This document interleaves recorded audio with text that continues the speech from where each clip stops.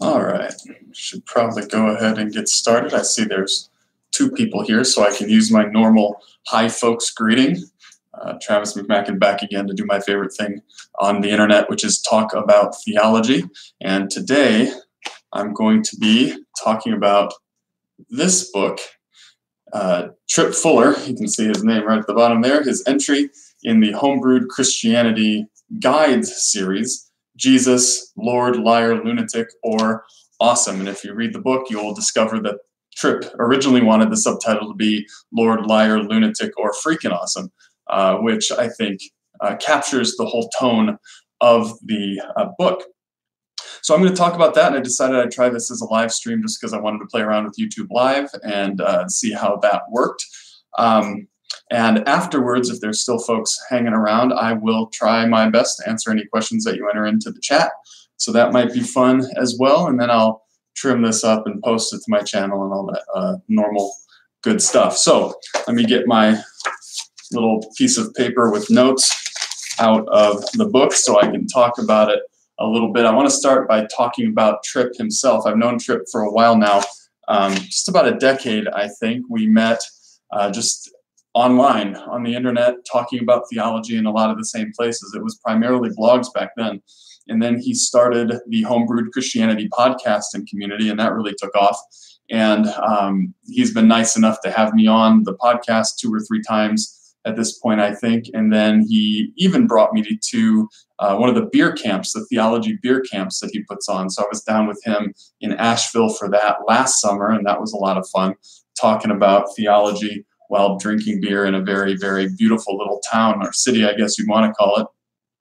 Uh, Tripp is so Tripp is a really interesting individual. If you've met him, uh, you know that he is a unique individual. Uh, I think the word raconteur, he's a, he's a skilled raconteur. He's a good storyteller, good conversationalist, lots of fun. He likes to keep people on their toes. And I'm I'm pretty quick on my feet when it comes to conversation, uh, and usually not at a loss for words or a way to reply uh, when somebody puts something to me. But there have been a number of times where Tripp has caught me uh, flat on my feet with uh, one thing or the other, and so that's uh, something of an achievement, I think. And he he's good at um, getting people wrong-footed and seeing what comes out of their mouths, and then running with it in interesting directions. Um, all of this comes out in the book and that's just one of the great achievements i think uh, of this book that he's written is that personality shines through a great deal. This is not a boring dusty theology book. Uh, even uh, if you like boring, dusty, dusty theology books like I do, you will also enjoy this kind of jocular, um, running joke, uh, always uh, making you think along with making you laugh uh, writing style that Tripp has. And it's very much like hearing him talk. So when I was sitting and reading this book, I felt like I had Tripp there uh, chatting through things with me, and that was a lot of fun. Uh, one thing I'll say uh, Tripp and I are just about the same age, and we were both in college when 9 11 happened. And so we each have stories about being in a Christian college when 9 11 happened and attending chapel services about that. Now, he tells his in this book, beginning on page 133. Maybe someday I'll tell mine publicly, but so far I haven't done that. Uh, we'll see if anybody ever drags it out of me. I want to start uh, by getting into the book and just talking about a few of the great lines that Tripp has in here. He has a good way of um, bringing things uh, together and stating it really concisely in, in a, a, way that packs a punch.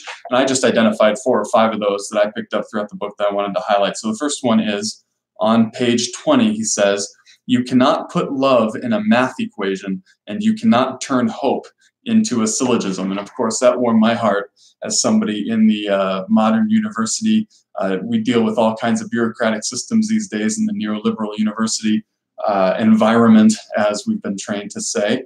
And it's all about quantifying and statistical analysis and things like that. Uh, but Tripp's statement uh, reminds us that when it comes to what it means to be human at the deepest level, uh, you can't put that into mathematics. You can't put it into a syllogism. You can't put it into an equation. And there's a whole realm of human experience and human existence and human significance and meaning uh, that transcends uh, what can be coded in binary. And I think that's super important to remember. And it's really important to, uh, to remember that when you're doing theology. There's lots of um, more or less analytically rigorous ways of doing theology. And if we were to lose the less analytical ways, the more mystical and spiritualist ways, uh, that would be a great loss. Also on this page, he gives you a set of principles for Christology, uh, the study of Jesus and Jesus' theological significance. Uh, he says, keep theolo- Christology crazy, keep Christology crazy. And when I read that, it made me think of a country song.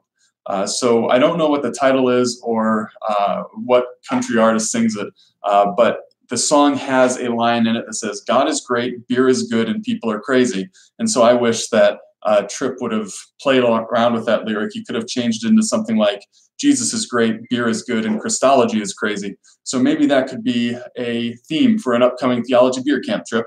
Uh, get out your notepad, write that down. A theology beer camp with the tagline Jesus is great, beer is good, and Christology is crazy. The next little quote I wanted to highlight for you is on page 43.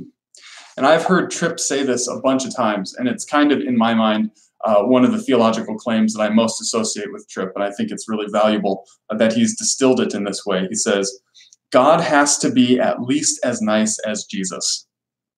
God has to be at least as nice as Jesus. And I think that's just incredibly important to any of our conceptions of God, uh, especially when we get into the realm of ethics and morality and how we treat other human beings. God has to be at least as nice as Jesus. And of course, Jesus could be incredibly nice to people who were mistreated by society and outcast and so on, uh, and then incredibly harsh toward people who had uh, seemingly everything and then continued to uh, oppress others. So God has to be just as nice as Jesus. Any values that we think God has uh, have to be reflected in the values that Jesus had. It made me think of a story that um, T.F. Torrance uh, tells in a number of places in his writings about when he was a military chaplain in World War II. He talks about coming upon a very gravely wounded uh, soldier uh, in his duties as chaplain, and the soldier uh, is very uh, fearful of dying. Uh, and he asks Torrance, uh, Is God really like Jesus?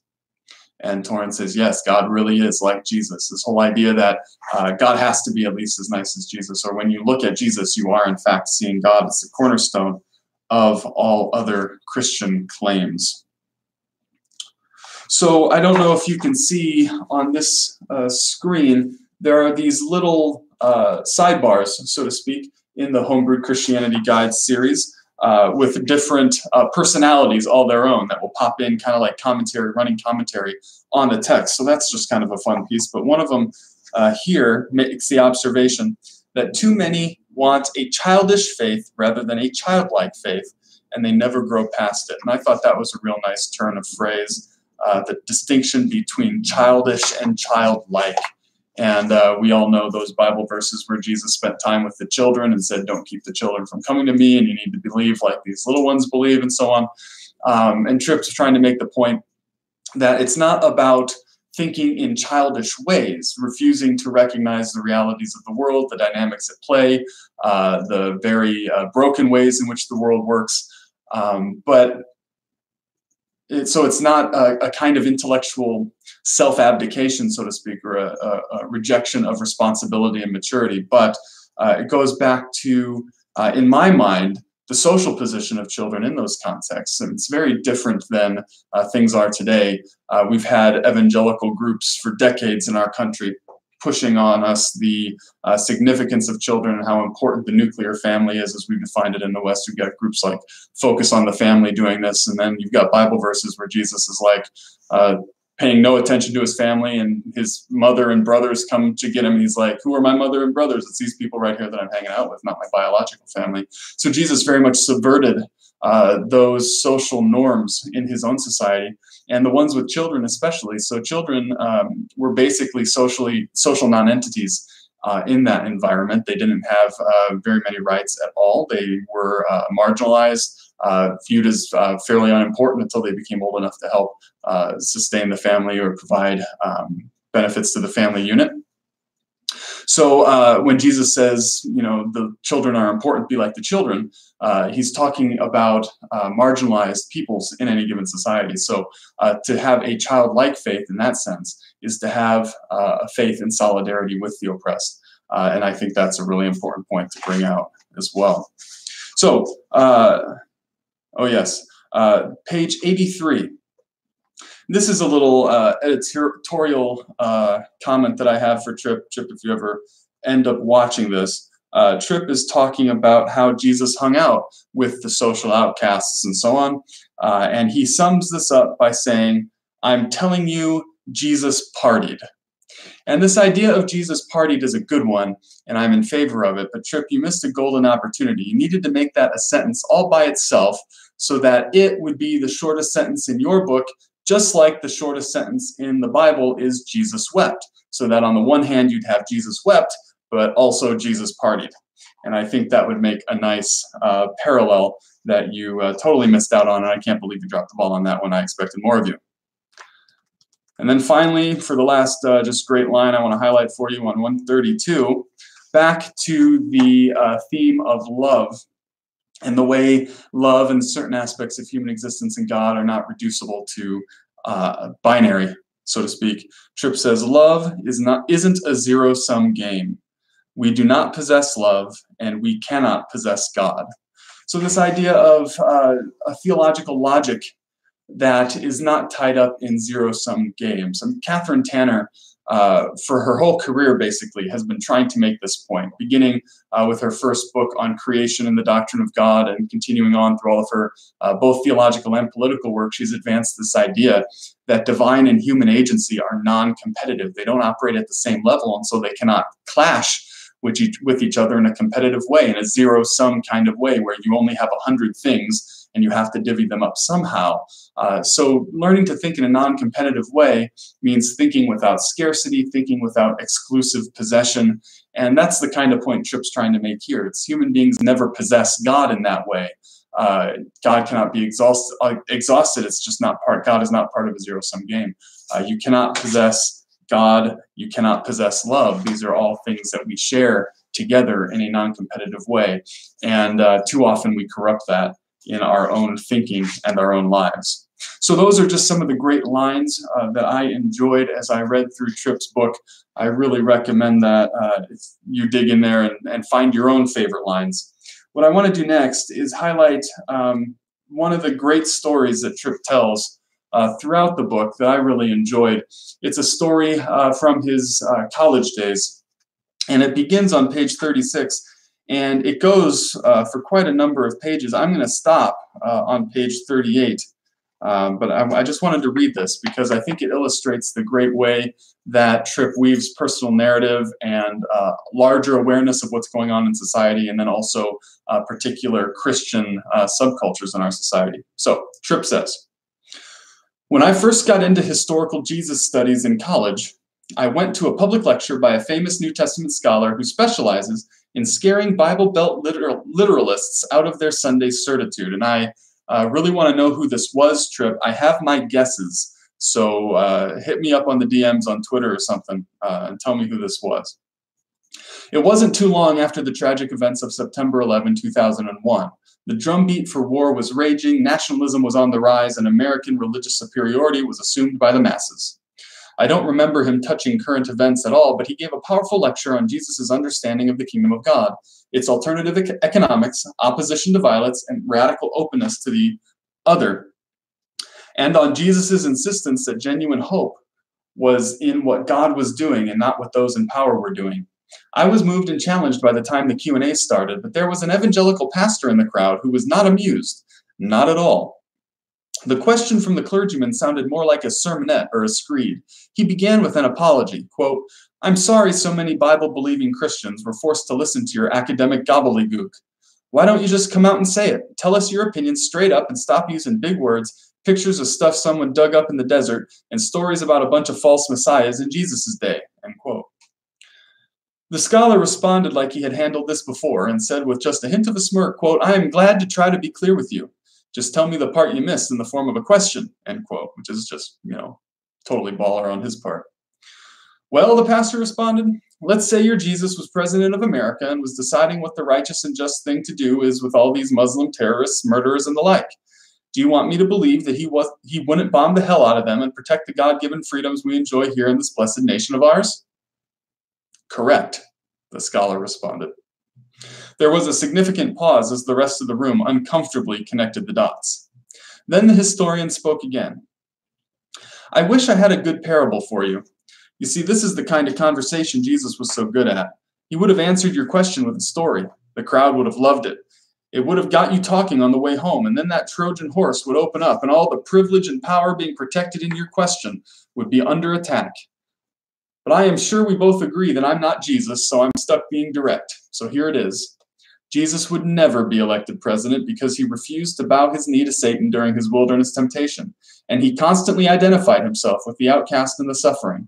I am confident Jesus would have mourned with all those who mourned after 9 11, but I am equally confident he would be praying that our loss and fear not become cancerous and lead to war. After all, now that we know who our enemies are, we know just who Jesus has commanded us to love. And I'm going to stop there the story continues with how the uh, particular clergyman uh, responded. And I uh, encourage you to look that up, but uh, I'm going to stop there for right now. And I think that that story jumped out at me, um, especially as I read this book recently, because of all the uh, posturing in the news with reference to Iran. Uh, after 9 11, we had the invasion of Afghanistan, and then later on, we saw history repeat itself again with uh, the invasion of Iraq. And now, a lot of the same people in a new uh, administration are talking about Iran.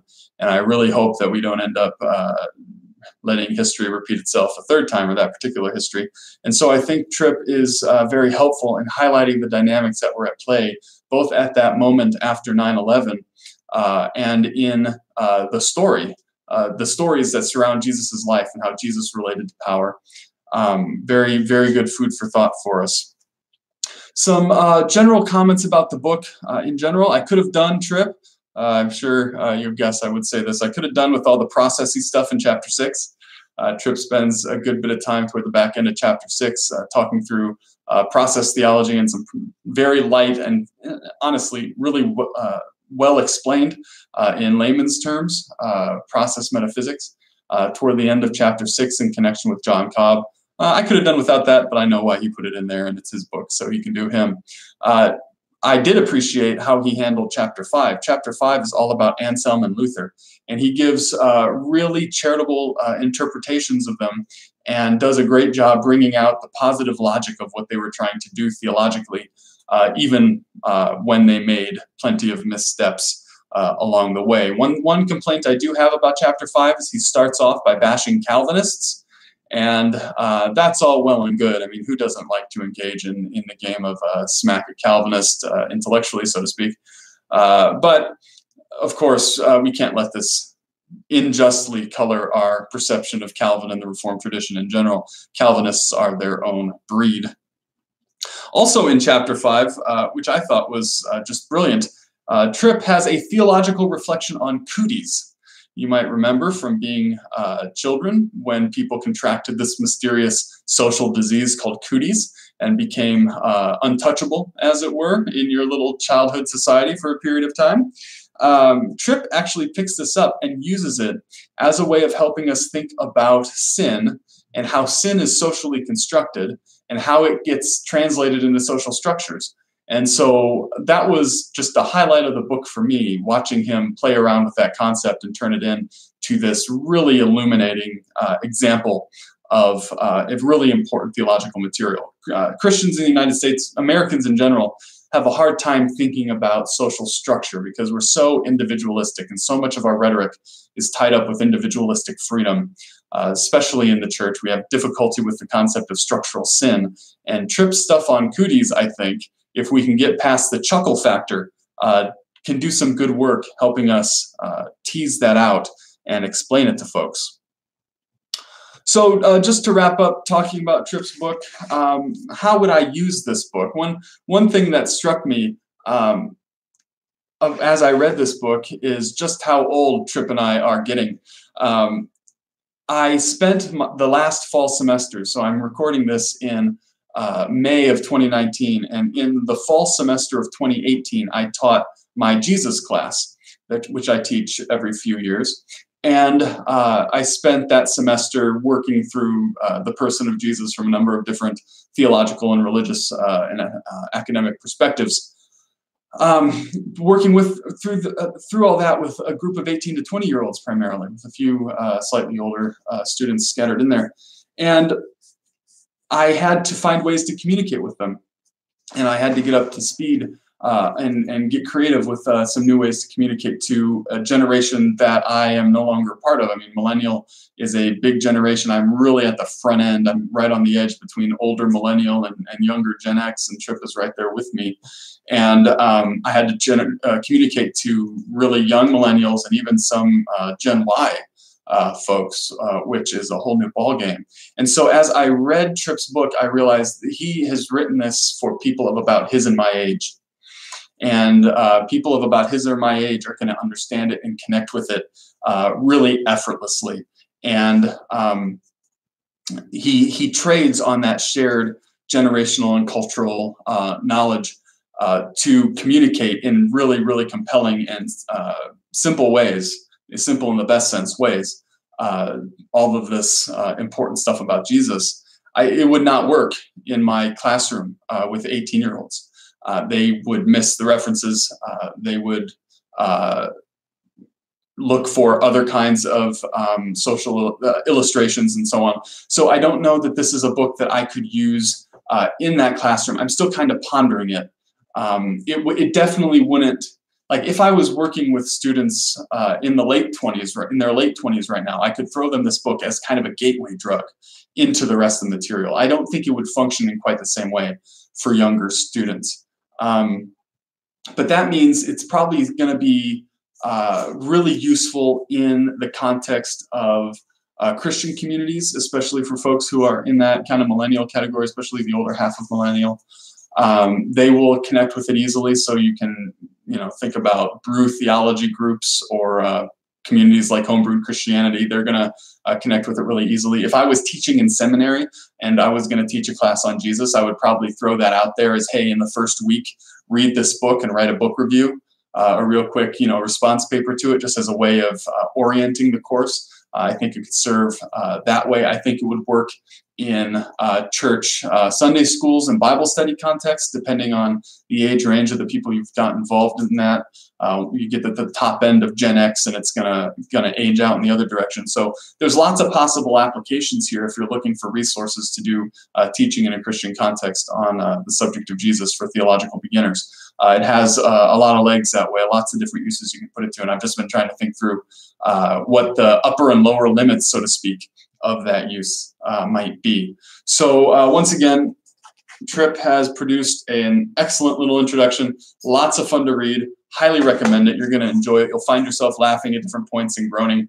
Uh, maybe not crying. Tripp, as far as I can tell, doesn't usually try to make people cry uh, unless they're crying because they're laughing so hard. So if you don't know homebrewed Christianity, uh, look it up online. Just Google it. It'll come right up.